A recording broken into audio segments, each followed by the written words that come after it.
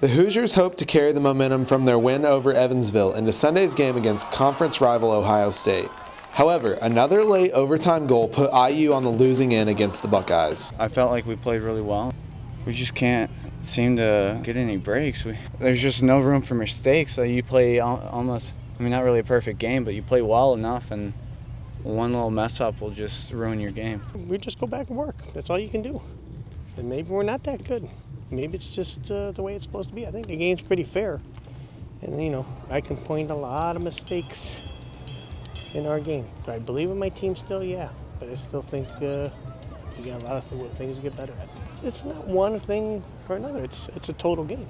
You got to defend, you got to play offense, and you, got to work your tail off and transition in between the two. And uh, you know, I, I, I, look back on the season, I still look at some games, and I still feel we're a better team. The loss against Ohio State drops the Hoosiers to below 500 in Big Ten play. From Bill Armstrong Stadium, I'm Cody Sharrett, Hoosier Sports Night.